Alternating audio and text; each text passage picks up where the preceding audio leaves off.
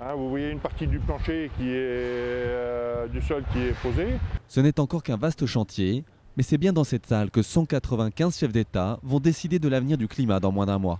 Une course contre la montre pour ces ouvriers qui devront tout démonter après la conférence. Nous avons commencé le montage sur site euh, le 5 octobre et au 15 janvier, euh, tout serait évacué. Cette salle où se réunira l'Assemblée générale est construite en bois et pourra accueillir environ 2000 personnes.